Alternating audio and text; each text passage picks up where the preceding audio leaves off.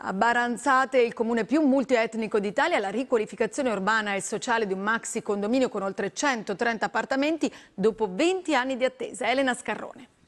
Io ho pagato 36 milioni e mezzo della ristrutturazione. Era la liquidazione di quasi 20 anni, 20 anni di lavoro. Ma questo è rimasto sempre così.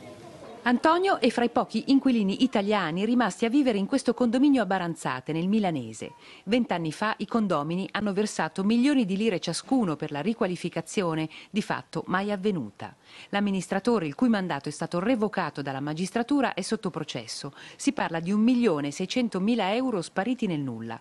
Da allora il condominio, 134 appartamenti, 450 persone, oggi in gran parte stranieri, è precipitato nel degrado, fatto di spaccio e occupazioni abusive abusive. Alcune sono state sventate perché siamo intervenuti noi, qualche volta sono intervenuti i carabinieri e qualche volta ci è andata male, sono rimasti lì.